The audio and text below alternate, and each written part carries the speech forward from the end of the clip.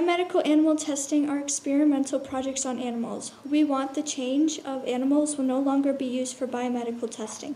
We want the change to actually happen. The animals don't deserve to be treated experimentally when the people who are testing don't even know what will happen. They are just inferring. We intend to prove that they deserve special consideration and respect just like humans do.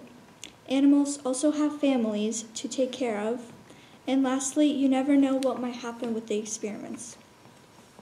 Animals deserve the same respect as do humans. Humans have rights to freedom. The humans are not forced to be an experiment, they have to agree. They are treated kindly. Why should animals be any different than humans, since they are basically tested on because they have the same DNA that controls their thinking? According to the New York Times, five years ago, the National Institutes of Health all but ended biomedical and behavioral research on chimpanzees, concluding that as the closest human relative, they deserve special consideration and respect, meaning they should have respect from humans and they should be treated respectfully. We should be focusing more attention on developing them based on the research of John Gluck, meaning instead of taking a risk of them dying and ruining their chance at life, we could help develop them. Developing their skills and helping them live their life is what everyone wants, even animals. Animals ha- like chimpanzees are used for experiments that might fail and conclude to death. Why should they die because of an experiment that didn't even work? They should live their lives like us humans do.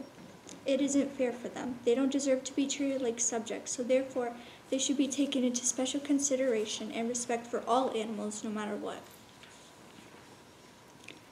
As we are developing them, we should help develop social skills with other animals and their own family. Family should always be important and should always be in everybody's lives, including animals. Um, they should bond with their loved ones just as humans do. It isn't fair that they should be torn apart from their families. Would you like to be torn away from your own family to something or somewhere that you did not consent to or agree on? We kept young and intelligent monkeys separated from their families and others of their kind for many months in soundproof cages that remained 24 hours a day.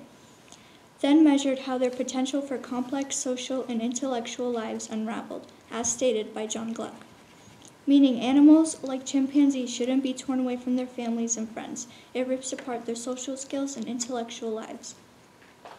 They are sentient beings that have mental lives comparable to ours in, sens- in sensitivities and pain and deprivation mean things to them, just as they mean things to us from the newspaper in England, The Independent, meaning they have sensitivities and feelings too.